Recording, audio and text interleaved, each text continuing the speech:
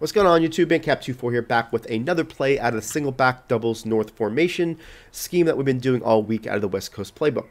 Today's video we're going to look at a cloud flat beater, something which we really like as an option to also set up some run plays, but really show you another type of um, unique thing that's in this formation that uh, we want to bring to light as far as using your tight end to get running back routes kind of a couple different things that we're going to show you in this video. That's why we wanted to put it all in one video and, and show you that thing. So we're going to look at the PA rollout. I'm going to, you know, a play that we already looked at this week. We're going to flip it because I just feel like it's a little bit more of a comfort thing for me to run it flipped. So let's go take a look at it.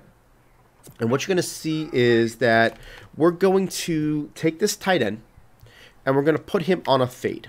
Okay. Once we put him on a fade, we're going to motion him to the backfield. That's going to turn that uh, fade into a wheel route we're going to motion back this tight end, and he keeps his wheel. So basically, what you can do is you can get wide uh, tight end to run running back routes by doing this motion, right?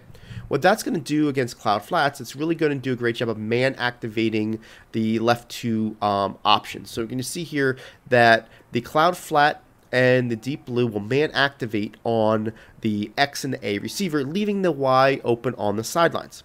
If we're running this to the wide side of the field, what you're going to see is you're going to have some opportunity to look at this wide receiver, and you're going to be able to throw it to him, get some nice easy yards.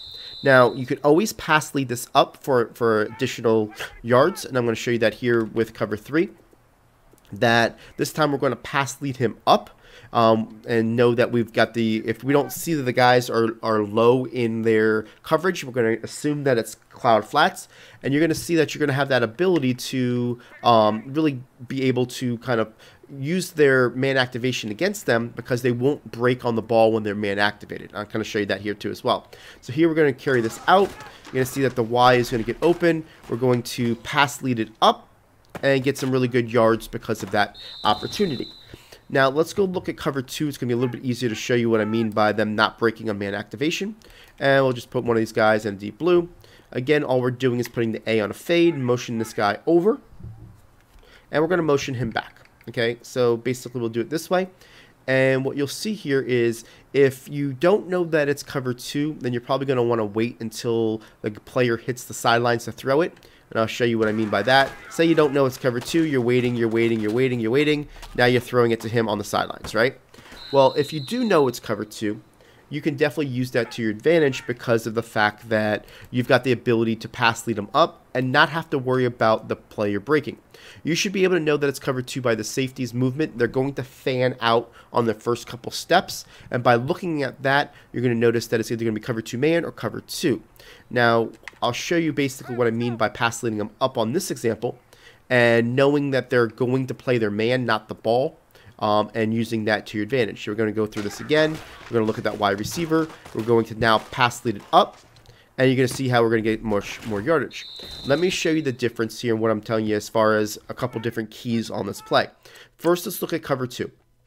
You're looking at these two safeties, and they're both going to take a fan out motion. See how they fan out to the outside? That's going to give the indication that it's cover two. Now, the second thing I want you to, to see here is that once you get this player to go up the field, you're going to see that right here, let me show you here, number 25 or yeah, 25, he's going to basically go up and cover 81. He got man activated. He's not breaking on the ball. Now look over here as well. 28 is man activated.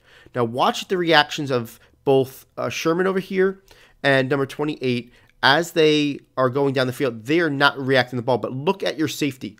The ball is thrown right when that safety breaks, right? He's the only one in zone at this point. Even though it's a cover two zone, because those guys went to man activation, they are now playing man principles. They will not break on the ball. And it's going to give you the opportunity to basically throw it, pass lead it up, knowing that player is not going to break on it until the ball is caught. Zone jumps on the ability of the the uh, quarterback throwing, but not man. See how this works? So when man, I, I, what I mean by that is man covering a, a, a, different player than the pole is attended for that player. So because of that, we're going to able to get that extra yards by pass leading it up. So as long as you know that it's cover two, definitely use that to your advantage. Now, what I do like about this is you can also disguise some running plays with it, because say you're doing something like this um, halfback ace power, right? Well, if you've done this play a couple times where you motion this guy here, people are going to expect you to motion him back. We can quick hike it at this point and really have an extra lead blocker when it comes to giving you a little bit of an opportunity to get a quick hitting play. You can use it in the pitch as well. I don't like it as much in the pitch. Uh, there's a different motion that we'll show you later in this week that we like a little bit better, but you can definitely use it in the pitch really quickly as well, you know, as far as letting him settle, get the ability to get outside, and you know get some yardage. But it is something that you could definitely use in that regard too. So once you you do this a couple times you know they're going to be a little bit less um, of you know uh, ready for for that type of um, you know play. Now let's move this to the left hash mark and show you how it works on the left hash mark going to the short side of the field. It's going to work the same. It's just going to give you a lot less opportunity to um, basically get any yards after catch, right? So, you know, you're going to be trying to throw it to this Y basically on the sideline. So you're going to want somebody who's got the ability to, you know, uh, catch the sideline ball. They're going to pat, pat, um, man activate, and you can see how we're going to be able to catch it right on that sidelines. So it's going to work the same. I'll show you in cover two now. Um, it's just going to be a little bit less of a opportunity to get some big yards. So I kind of like it a lot of times on the short yardage, especially when I'm looking only for you know eight to ten because most people are going to have instinctively cover the wide side of the field rather than the short side of the field. So you're going to basically do this. Now I could pass lead it up like I did there and get a little bit more yardage. Um, as you can see, Gabriel doesn't a good doesn't do a good job of catching the ball on the sidelines, where you're going to want that, um, attribute when you use this um, to your number three receiver but this definitely is a great option to get some quick, easy yards when it comes to those who like to spam either cover two or your cloud coverages in Cover 3. Appreciate it, guys, for watching this video. Stay tuned for tomorrow's video as we are going to go ahead and drop the rest of the scheme on our website at smartmadden.com in order to have a full scheme to help you build off of the four plays that we've shown you all week. Thanks again. Slap a like if you like this play, and we'll see you on tomorrow's video.